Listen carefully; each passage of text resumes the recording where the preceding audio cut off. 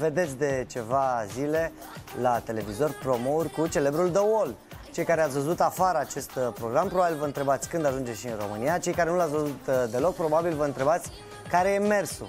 Ce fac acei oameni aparent obișnuiți uh, ca să câștige și mai ales cât pot câștiga. Poate din promo nu v-ați dat seama exact în detaliu despre ce este vorba, dar cu siguranță vă veți da seama în minutele următoare, pentru că vine chiar prezentatorul din studioul Observatorului, direct aruncat în divertisment, colegul Valentin Butnar.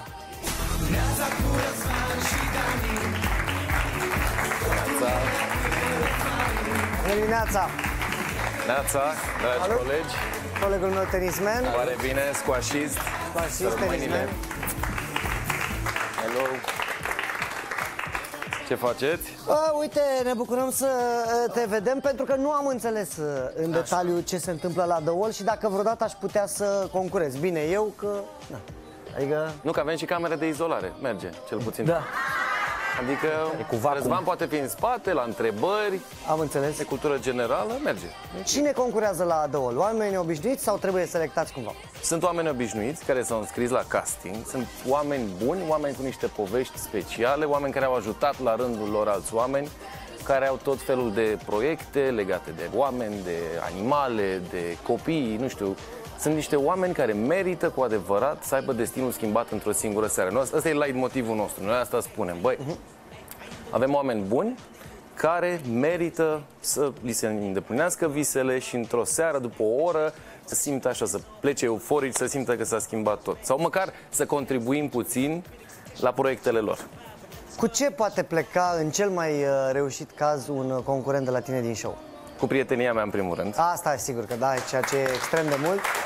Toată lumea știe că ai standardele ridicate, nu ești prieten foarte cu bine oricine. că da. trebuie un casting uh, prealabil, că nu. Eu empatizez foarte mult, mă apropii foarte mult de concurenți și încerc să fiu acolo cu ei, pentru că cumva suntem parteneri în excursia asta, în mhm. escaladarea zidului. Uh, dar premiile sunt foarte mari. Multă lume mă întreabă, chiar se câștigă, cum e, se iau bani, mulți care s-au uitat la formatul din state, pentru că din state vine de wall. Uh, am avut cel mai mare premiu de peste 80.000 de euro. Aoleu, da? Într-o oră? Într-o oră. Bine, totul e foarte fluctuant, adică vă imaginați că bilele se fac verzi, se fac roșii, taie tot, revila zero, urciar și așa mai departe. Dar ah, cineva okay. a câștigat peste 80.000 de euro, premii în total de peste 300.000 de euro până acum și a fost prima tură. A, ce tare! Și mai avem o tură de filmări uh, la sfârșitul lui septembrie în Polonia. Oamenii trebuie să înțeleagă povestea asta, are ieșit din interviurile cu tine. Pe vremuri nu se divulga așa un secret. Nici dar eu n-am știut prima dată, iartă-mă că băi, să zicem, nu zicem, trebuie să pară că e în România. Nu, domne, e în Polonia, e un hub și acolo filmează toate țările. Da. După noi veneau australienii, după australieni veneau englezii, mi se pare, izraelienii și apoi revenim noi. Dar noi suntem cei mai tari. Zidul e... A, asta știm. Ne-au spus polonezii, nu... A spus polonezii. Că ne iubesc și am primit deja mesaje că ne așteaptă înapoi. Uh, uh, zidul chiar există și e, e o construcție impresionantă, nu e o chestie mică. Nu, nu e. Eu am fost primul care a intrat, am ajuns seara, de la aeroport am mers direct la platouri și restul echipei s-a oprit undeva într-o anticameră în fine și am... Uh, Trebuia, e imens platou, trebuie să dai niște pertele, perdele negre la o parte și la un moment dat vezi zidul. Și am fost primul care s-a am făcut și o poză, știi, ca turistul la Marele Zid, da. chinezez. Și am stat acolo în public singur vreo 5 minute, m-au dat pierdut și mă minunam pentru că știți foarte bine cum totul poate părea din maestria unui regizor, cum e Mickey sau un regizor foarte bun, sau un director de imagine foarte mult, totul părea foarte mare, în platou poate părea imens. Da. Ei bine, zidul ăsta chiar e pe bune mari. Asta m-a surprins. Mă așteptam să fie o chestie de, nu știu, Să fie reglată din cameră. Să reglată din cameră, din unghiul camerei și așa. Nu, e imens. Am înțeles. Hai să trecem la, la, la mersul lucrurilor de adevăratele da. în platou. Ce se întâmplă cu el, concurentul? El, concurentul, e foarte emoționat la început. Eu încerc din, uh, din primele minute, să, sunt doi concurenți, vin perechi, vin soț-soție, buni prieteni, rude și așa Se mai ajută departe. între ei sau sunt unul împotriva celuilalt? Nu, sunt uh, împreună. Colaboratori. Colaborează. Doar la prima rundă joacă împreună da. și apoi îi despărțim. Unul se duce în spatele zidului, într-o cameră de izolare, de unde nu vede, nu aude nimic din ce se întâmplă, nu știe la ce sumă se ajunge pe zid. Okay. Celălalt rămâne lângă mine în față și joacă. Uh-huh. Și mizează, dacă vreți, un risc Pentru că apar niște întrebări de cultură generală la un moment dat, la care răspunde cel de la izolare, iar cel de lângă mine trebuie să mizeze, trebuie să aleagă o poziție. Sus sunt șapte poziții, de unde să lanseze bila. Ok, Spre dreapta e mai riscant, sunt valorile mai mari, spre stânga sunt valori mai mici. am înțeles. Dar nu știe cum va răspunde partenerul. Deci, Deci este avem cultură generală, avem noroc hazard și cât de bine îl cunoști pe cel din camera de izolare, bănuiesc. absolut. Pentru că tu îi servești întrebările la urma urmei. Exact, adică, na. Ok. Okay. Au fost cazuri, da. Geografie, istorie, soția s-a înșelat, Au că înțeles. soțul ar ști geografie, în fine. Uh, E de fan. seară la ora... În seara la ora 8, pe Antena 1. Ok. Mâine și poi mâine. Da. Mâine și poi mâine, da. Și în, uh, într-o săptămână normală, de câte ori se întâlnește lumea cu tine, în afară de dimineața la observator? Uf, uf. De trei ori pe săptămână. Ok. Bine, am, e, chiar am emoții pe bune, adică, mă, e, Am înțeles, nu trebuie să le exprimi, ok? Noi Da. suntem aici să te ajutăm. da, da.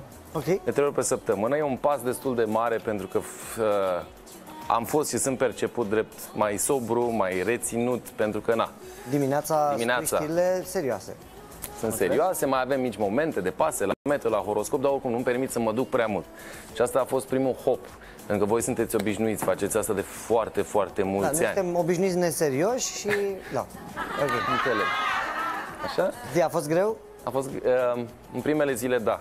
Pentru că trebuie să-ți descoperi... Eu aveam lucrurile astea, am făcut teatru înainte, am făcut di- puțin divertisment, bine, la o scară redusă, dar când ani de zile ai gesturile semilimitate și puțin controlate și încerci să fii într-un anumit registru, brusc ți se oferă o libertate fantastică.